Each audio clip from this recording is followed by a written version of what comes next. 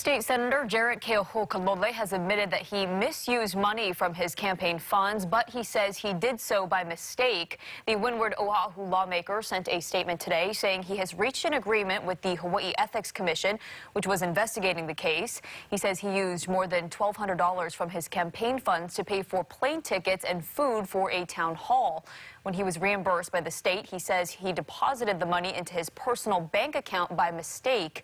He says he is embarrassed by the situation and takes full responsibility for his actions. He's been ordered to return the $1,200 and pay an additional fine of $1,500.